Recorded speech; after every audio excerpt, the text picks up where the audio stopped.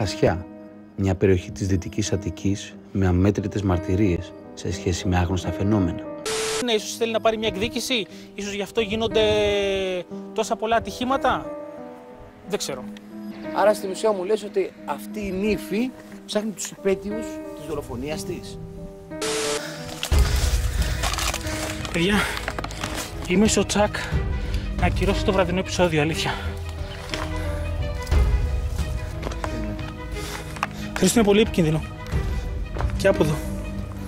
Γλιστράει. Ω, είναι πολύ απότομο, ρε. Μυστήριες οπτασίες και πολλά ατυχήματα τα οποία συμβαίνουν εδώ και πολλά χρόνια.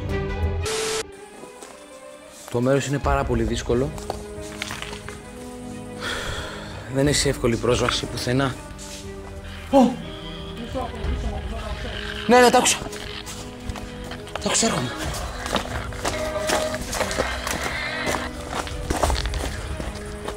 Δεν είναι μόνη Αυτό. της. Ε, και- Κοίτα, σκέψου ότι από αυτή τη γέφυρα έχουν πέσει πολλοί. Όπως λέει. Τι; Τι; Αντρική φωνή, αντρική φωνή. Μαριά, με τρομάζεις, με τρομάζεις. Αν υπάρχει κάτι, χτύπα το EMF. Σήμερα θα επισκεφτούμε το συγκεκριμένο μέρος, το οποίο αναπάντεχα θα αποδειχτεί το δυσκολότερο γύρισμα έως σήμερα.